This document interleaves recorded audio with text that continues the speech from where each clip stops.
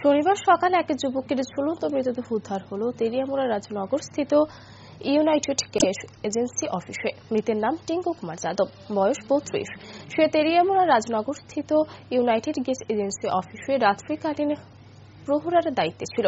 অন্যদিকে দিনের মতো শুক্রবার রাতের খাওয়া দাওয়া শেষ করে ইউনাইটেড গ্যাস এজেন্সির অফিসে চলে আসে। শনিবার সকালে গ্যাস এজেন্সির অফিসের কর্মীরা অফিসে এসে দরজা বন্ধ পেয়ে তাকে ডাকাটাকি শুরু করলে কোনো সাড়া না পেয়ে দরজা ভেঙে ভেতরে প্রবেশ করে দেখতে পায়।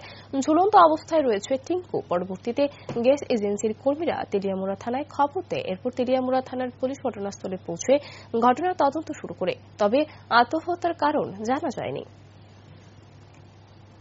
যেতে পারি। না আমি তো বাড়িতে ঘুমাই হয়তো এখানে ঘুমাইছে ওখানে এখানে। বলতে কোন জায়গা ঘুমায়? গ্যাস অফিসে ঘুমাই আচ্ছা।